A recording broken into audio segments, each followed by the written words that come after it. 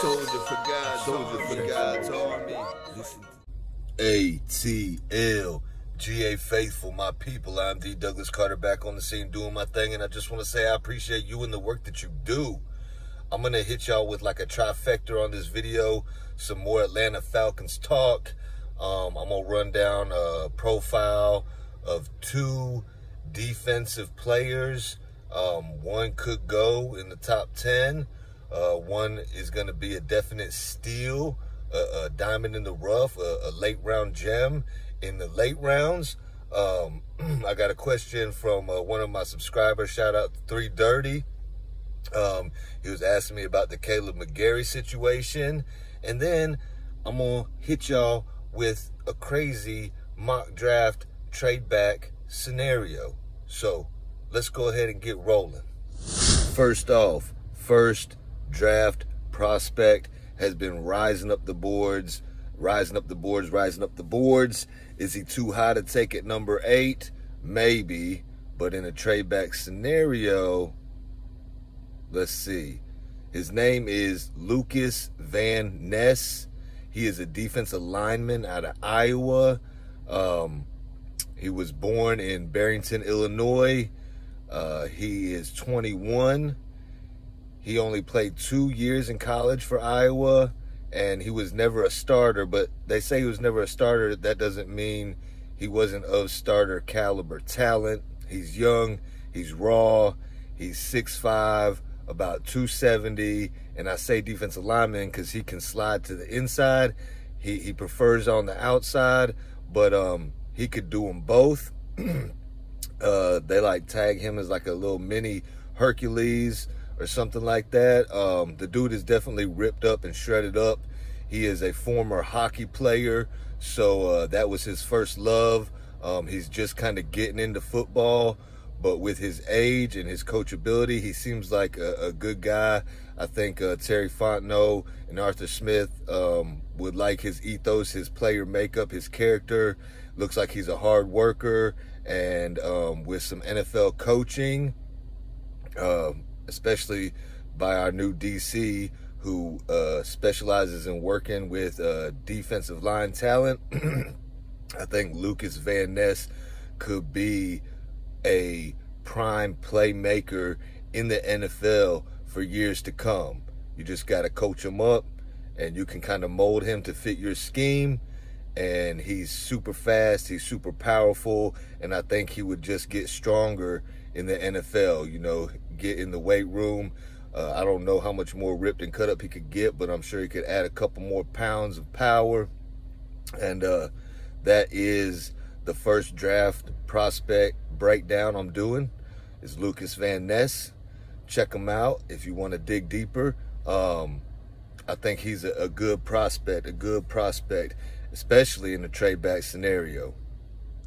So upon first look, Lucas Van Ness, I mean, he looks kind of goofy to me, but you can't hold that against him. ESPN said he had six and a half sacks, but then when you go to PFF on his profile, it says he had nine sacks last year, four the year before, uh, 31 hurries.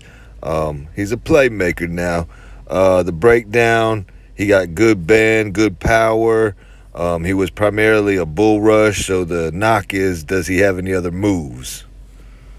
All right, so the next defensive line prospect is the gem, the steal, the diamond in the rough in the late rounds. Um, he's labeled as a defensive interior, born right here in Valdosta, Georgia, Devonsha Maxwell. I'm not sure if it's Devonshay or Devonsha, but one of the other last name Maxwell. He um, played at a small school, uh, Chattanooga, but this guy is an absolute beast. He's 6'3", 296, so he can also play on the inside or the outside. And I think that's what we're looking for as the Atlanta Falcons is, you know, we got Grady. He's a staple. Um, we might need a big, like, run stuffer on first and second down. But besides that, you want guys that are kind of like a edge and a defensive tackle hybrid.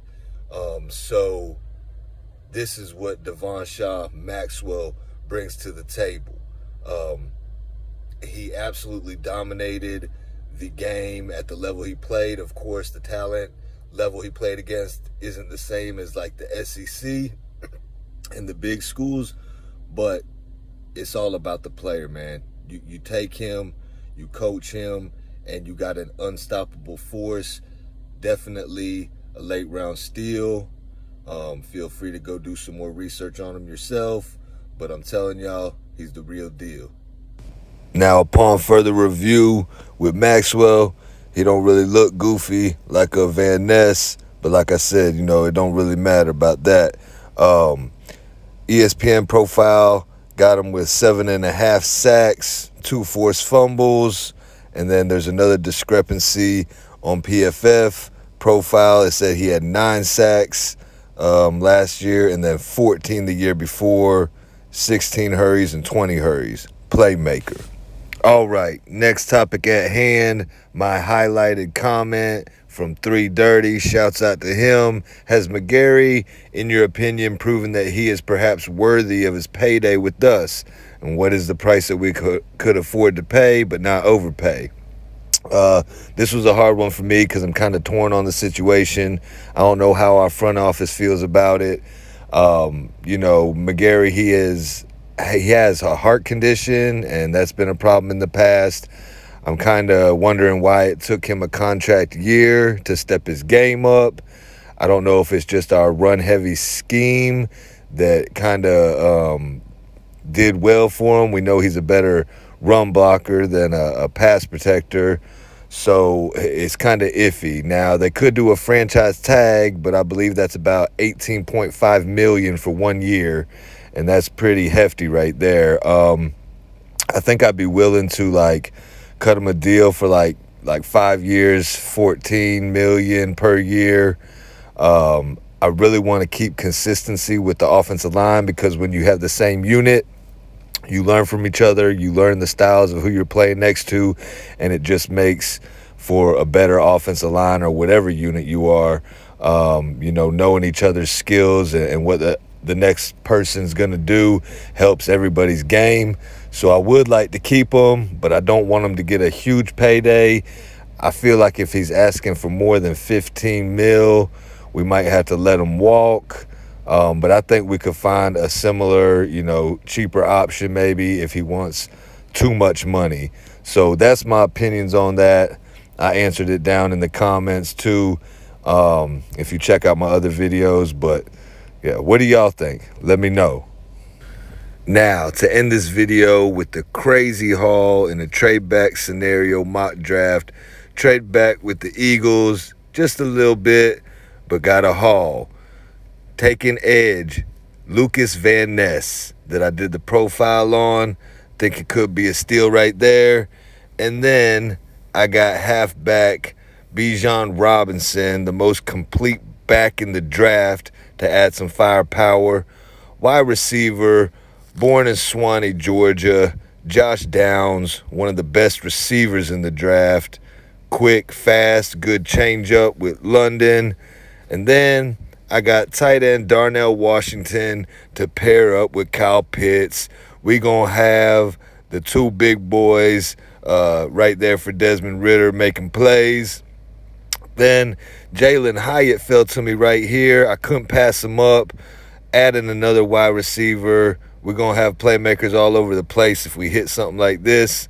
Next, I took cornerback Jaylon Jones out of Texas A&M. Uh, he's a hard hitting corner. I think he'd probably be better suited for a safety. So he's like a cornerback safety right here. Then I took defensive interior Keondre Coburn.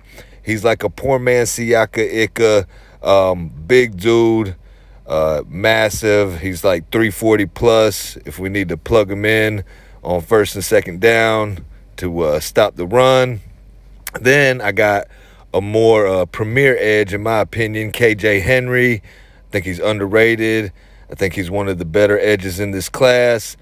Then I got another sleeper corner, Julius Brents out of Kansas State.